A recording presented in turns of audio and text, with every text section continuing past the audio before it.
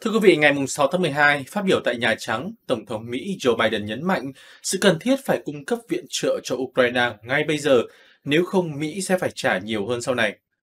Buộc phải gửi quân đội Mỹ đến chiến đấu với binh sĩ Nga, một khi tình thế Tổng thống Nga Vladimir Putin đưa quân tiến vào một nước thành viên Tổ chức Hiệp ước Bắc Đại Tây Dương NATO. Congress needs to pass Hôm nay tôi muốn nói với các bạn về trách nhiệm cấp bách của Quốc hội trong việc duy trì các nhu cầu an ninh quốc gia của Hoa Kỳ.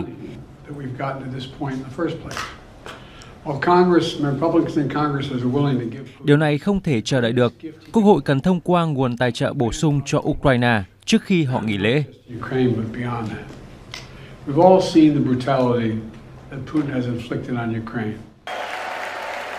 Theo tờ US News, ông Biden đã đưa ra lời cảnh báo nghiêm khắc nhất từ trước đến nay đối với các nghị sĩ Đảng Cộng Hòa đang chùn bước trong việc phê chuẩn thêm viện trợ cho Ukraine. Nguyên nhân là do Mỹ đã cam kết với tư cách là thành viên NATO rằng họ sẽ bảo vệ từng tấc lãnh thổ của NATO. Cho nên, để tránh viễn cảnh đó, theo ông Biden, Quốc hội Mỹ cần thông qua gói viện trợ bổ sung cho Ukraine trước kỳ nghỉ lễ. Phát biểu của Tổng thống Mỹ được đưa ra hai ngày sau khi Giám đốc Ngân sách Nhà Trắng Shalanda Young cảnh báo rằng Washington sắp hết thời gian và tiền bạc để giúp Ukraine trong cuộc xung đột với Nga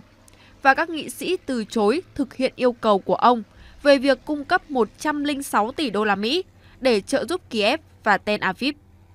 Điều này đặt ra một thách thức lớn cho Washington trong việc hỗ trợ Ukraine trong cuộc xung đột này. Để thể hiện tình đoàn kết với Ukraine, ngày 6 tháng 12, ông Biden và các nhà lãnh đạo khác của nhóm các nước công nghiệp phát triển hàng đầu thế giới G7 đã gặp mặt trực tuyến với Tổng thống Ukraine Volodymyr Zelensky. G7 đã đồng ý với lệnh cấm đối với kim cương của Nga và các biện pháp trừng phạt mới khác, bao gồm cả các cách để thực thi trần giá đối với dầu của Nga.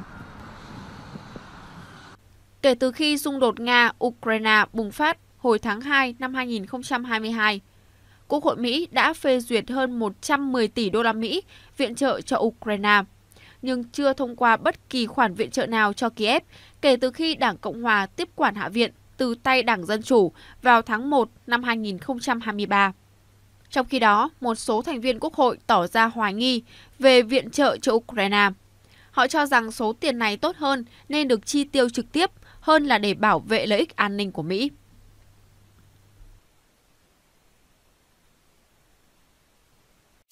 Trước sự hối thúc Tổng thống Joe Biden, Quốc hội Mỹ thông qua đề xuất ngân sách bổ sung gói viện trợ quân sự mới dành cho Ukraine, trong đó có kế hoạch tăng viện trợ cho Ukraine.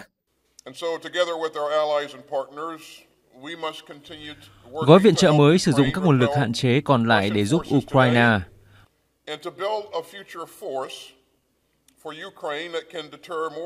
Gói viện trợ này bao gồm đạn và tên lửa cho các hệ thống phòng không, đạn pháo, các thiết bị bảo vệ cơ sở hạ tầng thiết yếu và các thiết bị dùng cho huấn luyện và vận chuyển.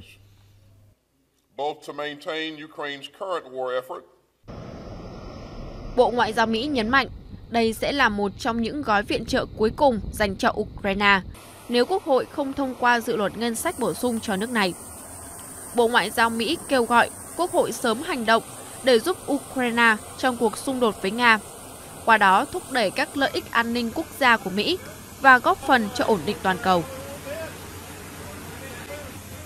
Nhà Trắng mới đây đã cảnh báo về việc không còn tiền để hỗ trợ Ukraine nếu Quốc hội không hành động từ nay cho đến cuối năm.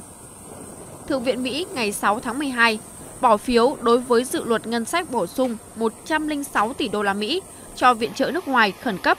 trong đó bao gồm 61 tỷ đô la Mỹ cho Ukraine. Tổng thống Joe Biden cũng đã kêu gọi Quốc hội thông qua ngân sách viện trợ cho Ukraine vài giờ trước cuộc bỏ phiếu tại Thượng viện. Trong khi đó, một số nghị sĩ Cộng hòa đã tuyên bố sẽ ngăn cản dự luật này, đồng thời đề nghị các hạn chế mới đối với an ninh biên giới Mỹ. Bên cạnh cuộc xung đột Nga và Ukraine thì xung đột giữa Israel và Hamas đang diễn ra rất căng thẳng, kéo theo đó là sự phân cực chia rẽ về quan điểm cùng với kỳ nghỉ lễ sắp tới có nguy cơ rất lớn xảy ra các cuộc tấn công khủng bố ở Liên minh châu Âu.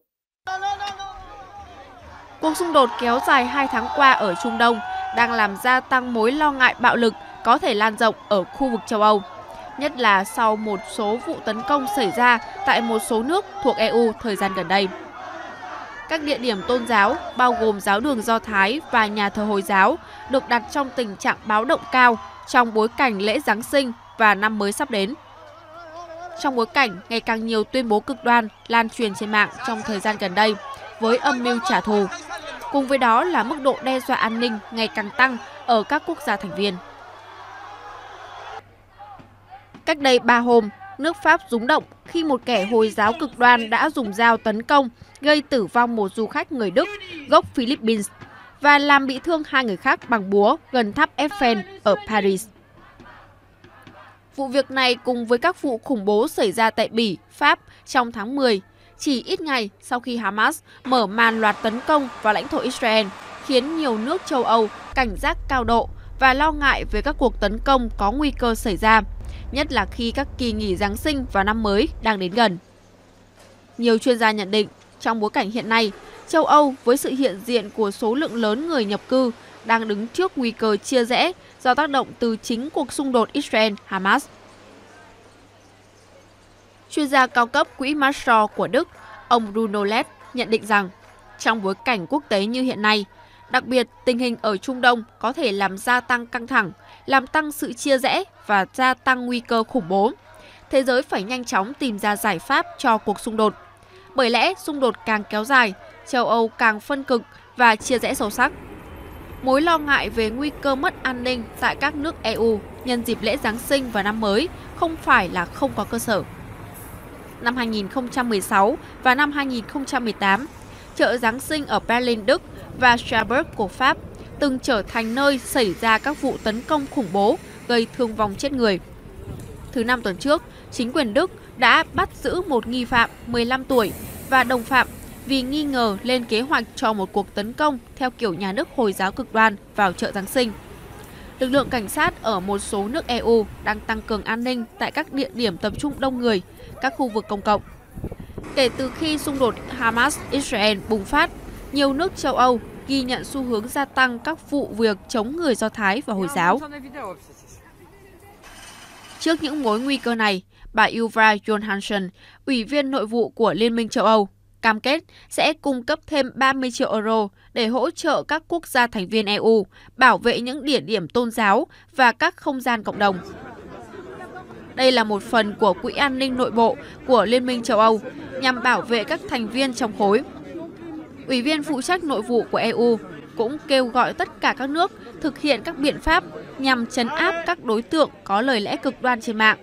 đồng thời cần có biện pháp triệt tiêu các nguồn tài chính được các nhóm cực đoan sử dụng. Hơn lúc nào hết, sự hợp tác giữa các quốc gia thành viên EU là rất quan trọng để giải quyết mối đe dọa mất an ninh và nguy cơ chia rẽ sâu sắc.